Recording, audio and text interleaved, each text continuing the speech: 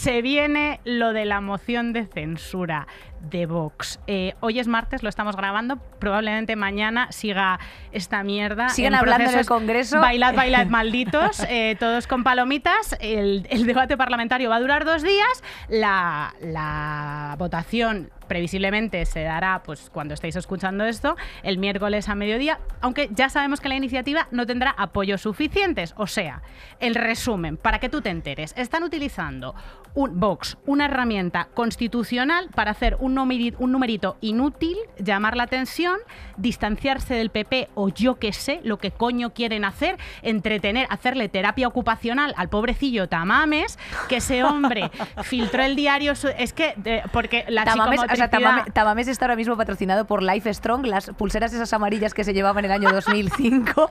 Eh, a ver si aguanta dos días enteros de sesión, que por cierto yo esta mañana Nerea le he visto que no podía aplaudir. Porque No implica psicomotricidad, Inés, porque implica psicomotricidad.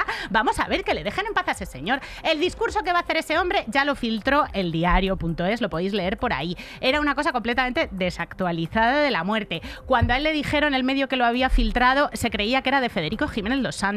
Está desconectado por completo. Pasa radical de toda esta movida.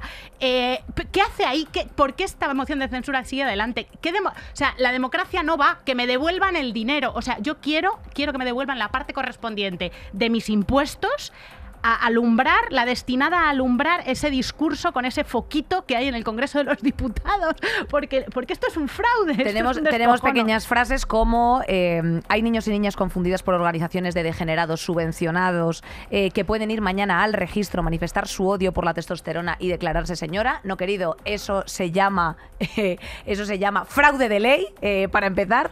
Y tenemos otras cuñas de racismo y bulo en la misma locución en las que dicen ahora todo el mundo sabe que el virus chino sale de un laboratorio.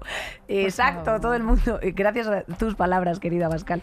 O sea, esto es eh, increíble. Oye, el caso es que están ocupando todas las portadas de todos los periódicos, que en los digitales hay eh, retransmisiones en directo, estamos aquí siguiéndolo y están al final haciendo lo que querían, que era ocupar la agenda informativa un poco a la fuerza, eh, tremenda pantomima. O sea, ya está bien de hacerles caso a esta banda de payasos. O sea, Tú de sabes que yo no soy a huge fan de perro, pero ha dicho que Vox es eh, lo que a los ultraprocesados a dieta mediterránea el glutamato de la derecha.